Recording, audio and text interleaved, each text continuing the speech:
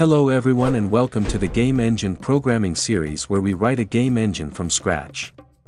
In the last episode we created data structures and functions that manage directional lighting data. In order to use the lighting data for rendering, we need to create resource buffers, and copy the data to those buffers so that it can be accessed by the GPU. In this episode, we're going to finish the light module and use it for forward rendering. We'll start by creating GPU buffers that will contain our light data.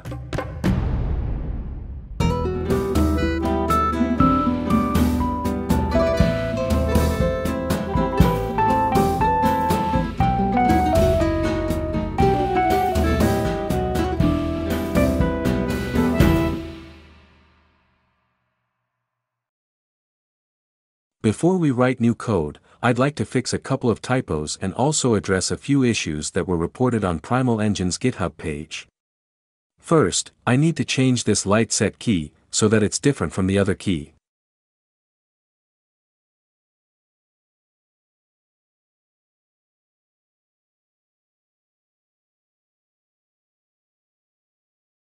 Looking at the internal setter and getter functions for lighting, we can see that they're constexpr functions. However, we didn't mark the camera functions as constexpr, so let's make these constexpr as well. The ones that use DirectX math library functions can't be constexpr, so we leave them as is.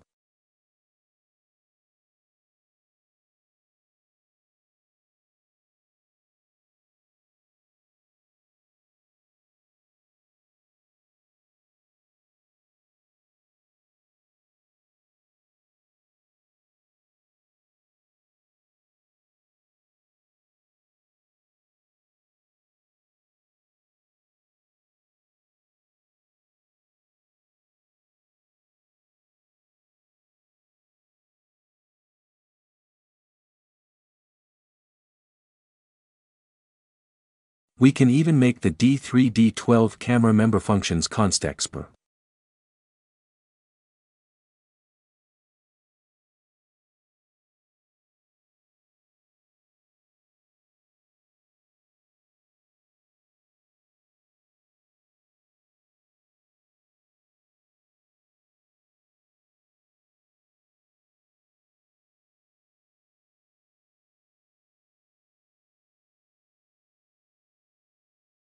We also need to update their declaration in the header file.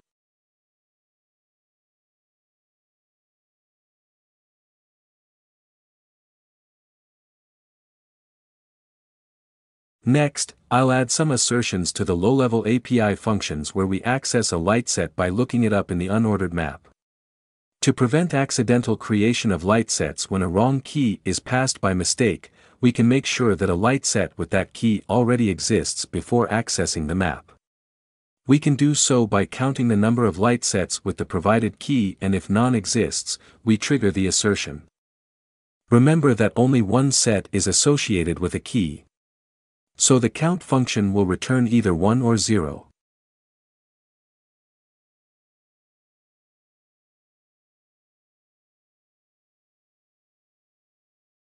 The next typo is here where I spelled the function name wrong. Obviously it should be get cache pointer.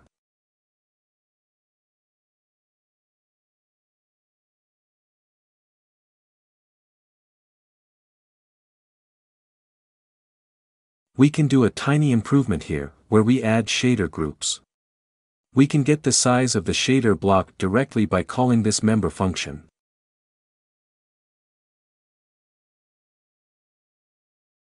I'd also like to add a comment here as to why I had to create this class, so people wouldn't question my mental abilities more than usual. Let's do the GitHub issues next. I'll address the oldest first. This one's about an unused variable where we're calculating indices for the procedurally generated plane in primitive mesh.cpp. As you can see, k is not used anywhere in the inner for loop and is always zero so we can remove it. Fixed. Thanks, Obi-Wan 43. The next issue is that we're comparing floating point values in the wrong way. As you know, we can't compare floating point values like this due to imprecisions when the values are calculated. The correct way of comparing is by checking if the values differ more than a small amount. We already wrote an extension method that does this and we can use it instead of a direct comparison. So, if the old value is not the same as the new value, we'll update it. Fixed. Thanks Code Goggles. The last issue is about D3D12 surface class where I forgot to update the code that was disabled because of conditional compilation. In that video, I replaced frame buffer count with buffer count. However, I didn't replace it everywhere, so let's fix that now. Here you can see that we left the old frame buffer count here. I'll replace it with buffer count.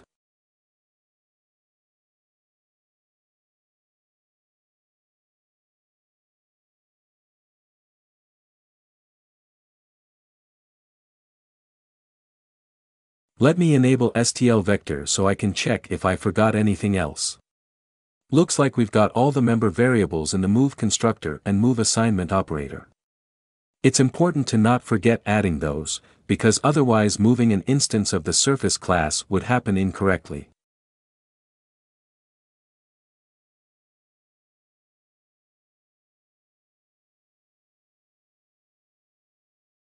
While we're here, I'm also going to remove this format member variable, since we can directly use the default back buffer format that we defined as a constant. I'll leave a note here, because this is easy to forget.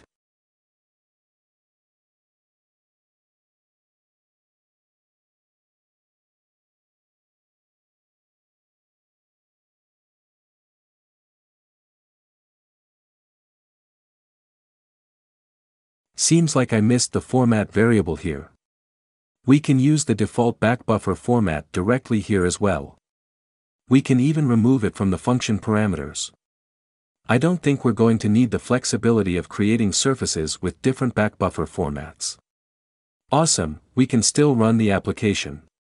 It crashes at the end, because we're using STL vector, so let me disable it again.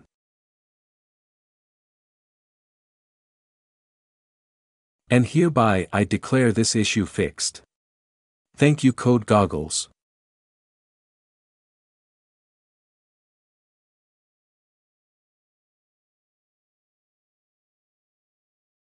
We can start adding code to the lighting module. In the previous episode we created this light set class that manages the lights. Now we need another class that manages the transfer of light data to GPU buffer resources. Therefore I will add a new class that I call D3D12 Light Buffer. Because we're using multiple frame buffers for rendering, we need to have one D3D12 light buffer per frame. That's why we have an array of light buffers here. In this class we have a local type that holds the actual D3D12 buffers. We need multiple buffers for different types of information that we want to send to the GPU. For now we only have non-cullable light parameters to put in a buffer. Later, we'll also have one for cullable lights and another one for culling information. Here we have an instance of D3D12 buffer and the CPU address of the mapped resource. We'll need as many buffers as the number of different data types. In order to update these buffers when needed, we also have to remember which light set was used and if the current light set is different from the last one. We can do this by saving the current lightset key. For this class we need a default constructor. The function that actually updates the GPU buffers with the current light data, takes a reference to the light set, the key that corresponds to that light set and the current frame index.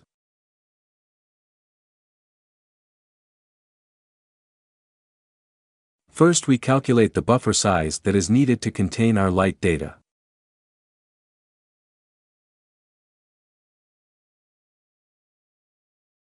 Next we get the current size of the buffer and check if we need to resize it, in order to have enough room to contain the data.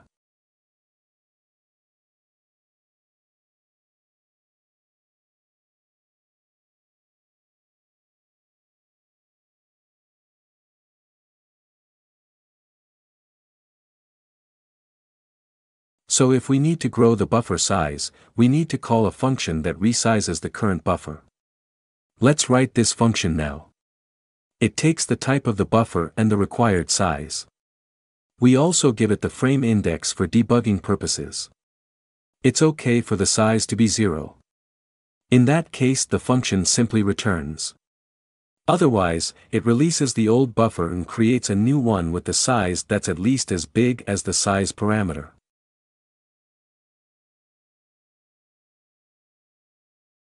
We use the default init info for constant buffers, and tell the constructor to create a buffer that is CPU accessible, so that we can map it to CPU memory. We give the created resource buffer a name, depending on the type of the buffer.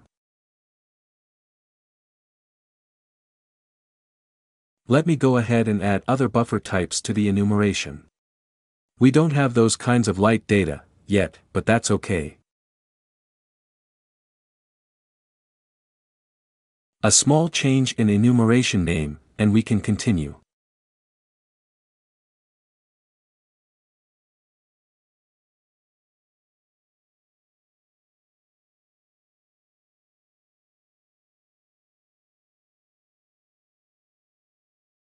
Now we need to map the resource to CPU memory. We've done this before and it's not that complicated.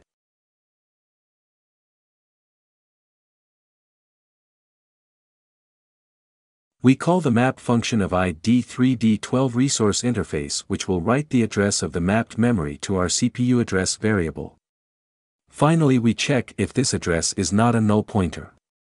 Back in the update light buffers function, we can call resize buffer with these parameters when needed.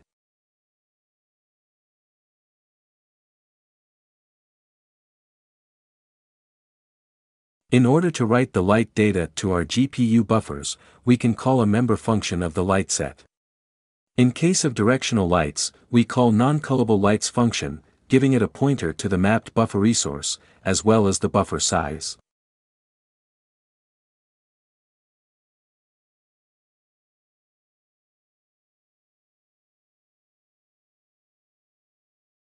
These buffers need to be released, when the renderer is shutting down.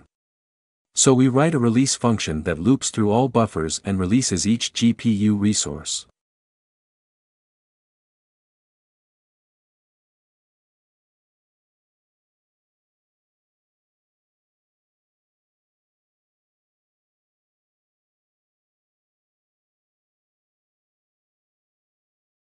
In addition, we're going to need the GPU virtual address of our light buffers which we can pass to shaders via the root signature. Therefore I will add a function that just returns a GPU virtual address of non-cullable lights buffer. We didn't use the light set key, because we'll only need it for cullable lights, so let's leave it for now.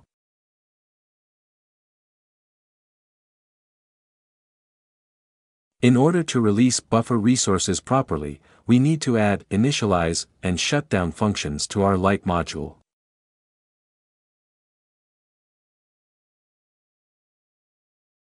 We don't have anything to initialize, so we return true.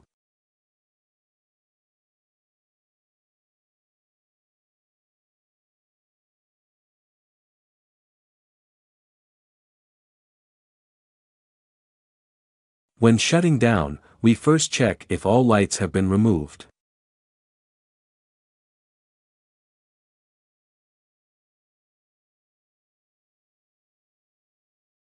For this we need to add a function to the lightset class that returns true if the lightset contains lights.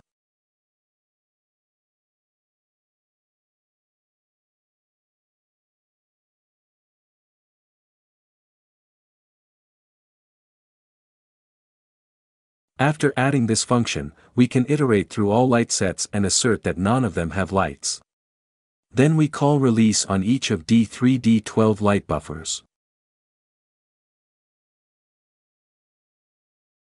I think this is pretty much all we need in order to handle the GPU buffers for directional lighting. In the next video, we're going to try and light our scene using everything that we wrote in the lighting module. Before ending the video, I'd like to let you know that you can now follow me on Twitter, at Primal Nippleman. Also, if you're finding my videos helpful and the kind of thing you'd like to see more of, it'd be fantastic if you could support me on Patreon. Thank you so much to all of you who've already contributed through Patreon, I appreciate it so much. As always thank you for joining me today and I hope to see you next time. Thanks for watching. If you like this video, please feel free to like and subscribe. If you join me on Patreon, you'll get access to the code on GitHub, so you don't have to type everything over from the videos. Plus there are also other nice goodies and rewards exclusive to my Patreon supporters. Please use the link in the video description to check them out. I hope to see you next time, until then, take care and happy game engineering.